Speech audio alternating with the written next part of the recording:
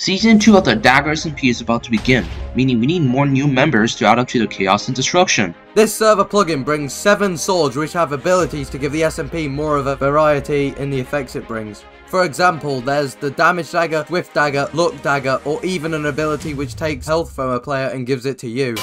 This plugin also brings exploration to search for shards that can be found in blacksmith houses in villages. How do you join this SMP? Well, you need to make a good edited 20 second to 1 minute application explaining why you should get into the SMP. The Discord is in the description for those who want to join.